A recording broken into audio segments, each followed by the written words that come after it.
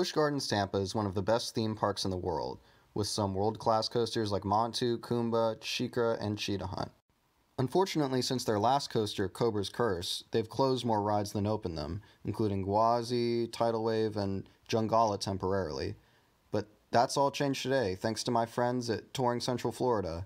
We have three new name permits for a potential 2019 new edition. So before I start speculating on what new attraction the park will get, I'm going to go over the names real quick, just with my quick thoughts. So the first name is Tigris, and I love this name. I'm a huge advocate for Busch Gardens keeping the one word authentic African names, and this, while it may not even be authentic, it's still a really cool name.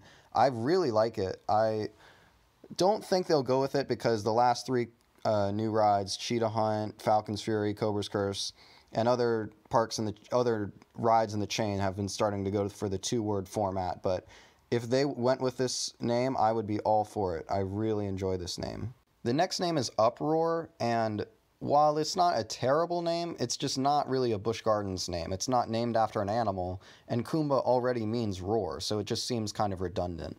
And the last name that everybody's losing their minds about is Twisted Tiger because theme park fans are not creative and they think because Twisted is in the name it will be an RMC. Which leads me into my topic. I'm going to speculate on three new rides and what they could be. And let's start with the big elephant in the room. Now, listen, I know a lot of people, including myself in the past, have been a big rumor advocate for RMC Gwazi, but guys, at this point, it's not going to happen. The structure has been sitting there for at least three years now, untouched. Busch has been leaving it in disrepair. All the things they said when they closed it, the humidity, the problems. And I think this tweet alone just shows how Busch is treating this ride. It's going to come down at some point.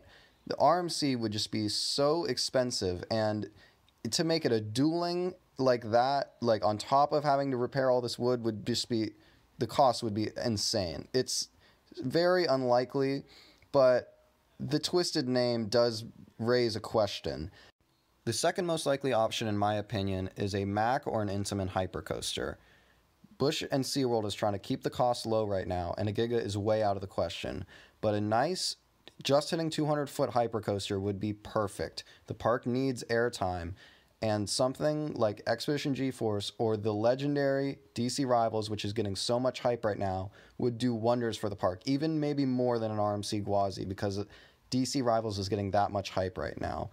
A Tiger theme would fit for this, and they could fit in a non-inverting loop. I the Busch needs one ride without inversions. Um, every ride, but Cobra's Curse is the biggest ride that doesn't have an inversion. Even Scorpion and Cheetah Hunt do. So in just a nice airtime filled ride, and it would be Intamin or Mack because uh, Mako is at SeaWorld and Busch and SeaWorld Orlando don't like to repeat themselves between the two parks. So Intamin or Mack, I think, is the most uh, likely manufacturer. Um, we've seen SeaWorld work with Intamin in 2017 with Wavebreaker and Mack in 2016 with Cobra's Curse. So we and there's already an Intamin with Cheetah Hunt. So we either, we're either getting a second Mack or a sec- second Intamin in the park.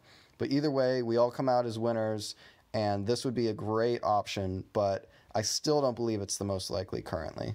And number one, as much as I don't want to admit it, I think it's going to be a Skyrocket 2. There's always been the rumor that Busch and SeaWorld bought three Skyrocket 2s, one being Tempesto at Busch Gardens Williamsburg, and the new Electric Eel coming to SeaWorld San Diego. And the option is just too good to pass up.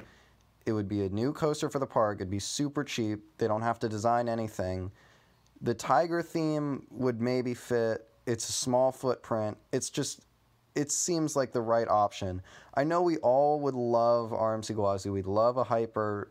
I mean, we'd absolutely go crazy for a Giga, but the Skyrocket 2 is just too likely currently. With the current state of SeaWorld and Busch Gardens, finances are real low. It's going to be something probably small. Like the biggest addition we've seen in the last three years was Mako. And while that was a big addition, it was a very short and cost cut hypercoaster. And we probably don't want something that, if it's going to be a hypercoaster, we don't want it to be cost cut. So if we're just going to get something small, this is this is good enough. I know it's not the best news, but I do think it's the most likely.